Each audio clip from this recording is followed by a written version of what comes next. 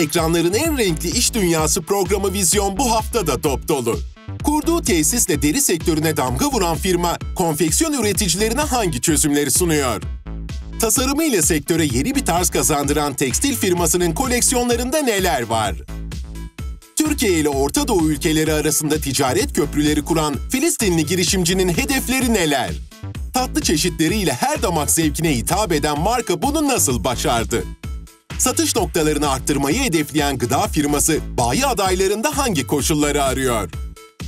Hepsi ve daha fazlası Gülbahar Merdivan'ın hazırlayıp sunduğu Vizyon'da. Vizyon, pazar günü ATV Avrupa'da.